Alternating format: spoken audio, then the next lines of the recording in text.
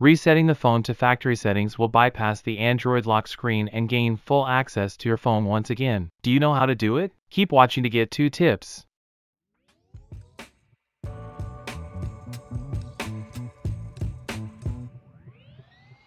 In the first tip, we will show you how to reset Android phone using Android Device Manager.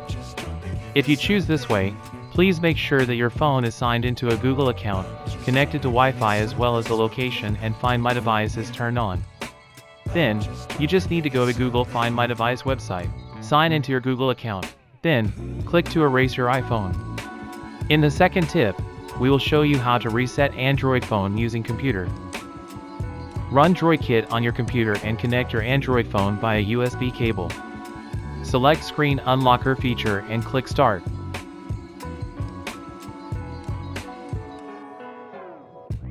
When the configuration file is prepared, click Remove Now. Then, follow the steps in DroidKit.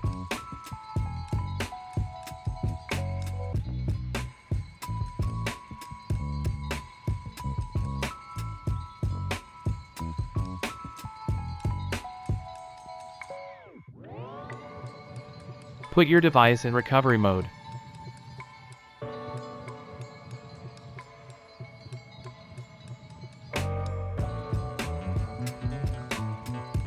Next, select Wipe Data slash Factory Reset.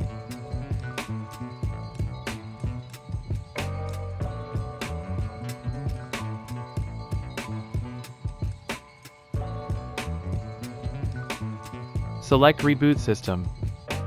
Wait for a while, after the removal process completes, your device will be started. Complete setups on Android phone and you can regain access to your phone. That's all tips, thanks for watching and remember to subscribe to our channel.